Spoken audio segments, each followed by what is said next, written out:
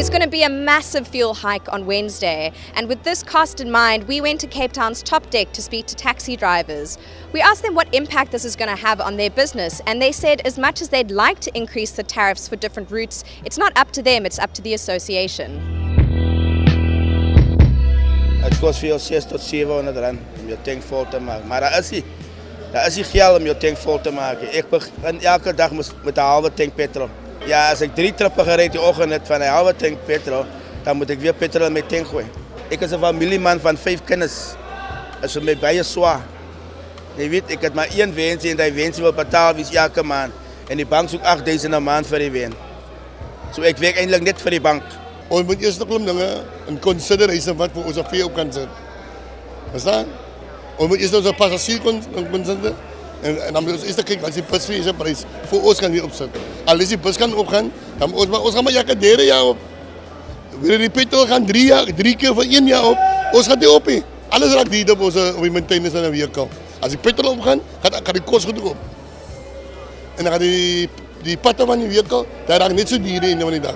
Onze vereniging, ehm, hulle besluit of die, of die, of die tarieven opgaan of op wat afgaan. Verstaan jy nou?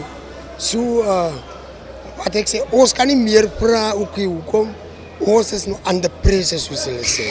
Ons moet nou ons moet ons wene overload en allei goed ons moet nou slegter miskien ry om om ons tage te maak. We also spoke to passengers who said the petrol hike is not only going to affect them on the roads, but also at home. If it goes up, and then that means the taxi fares are going to go up as well. And not only the taxi fares, but the market itself is going to be affected by it. A lot of things needs to be cut down.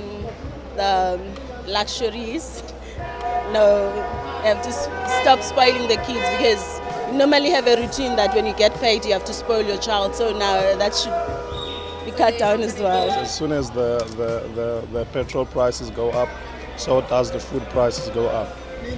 So it actually it is actually affecting us not in not a good way though in a bad way because some of us you know we didn't budget to actually um, um, pay for the taxes. If you can check the economy of South Africa is also degrading.